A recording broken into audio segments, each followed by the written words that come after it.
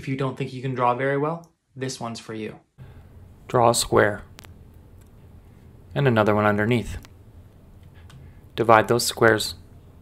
In the bottom left square, draw a large circle. Now draw a pointy oval.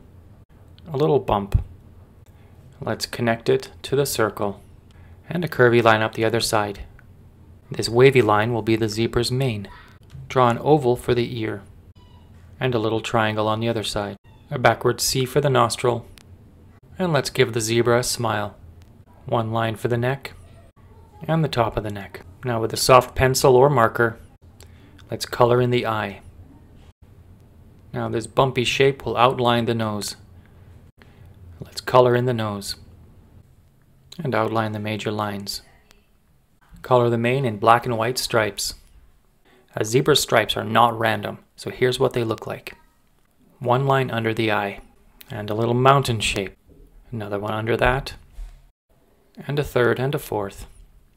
A couple of lines up the side of the head, and fill it in.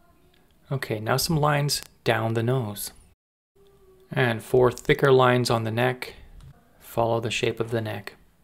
If you got value from this content, please do follow, like, comment, and share for more art tips and tutorials.